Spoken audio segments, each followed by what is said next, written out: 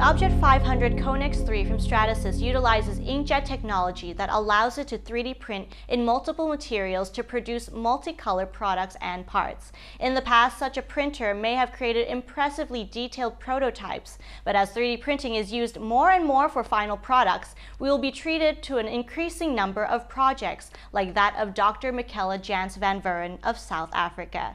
At the 3D Print Show in New York recently, Dr. Van Vuuren and her collaborators demonstrated demonstrated a line of 3D printed clothing made exclusively with the new Connex 3 3D printer. In stunning detail and vibrant colors, models walked the runway at the 3D print show, showing off the new technology. The designs, which took over six months to make, could not have been produced in any other way but with 3D printing. As Dr. Van Vuuren tells it, the fashion line was results of work that occurred over three continents.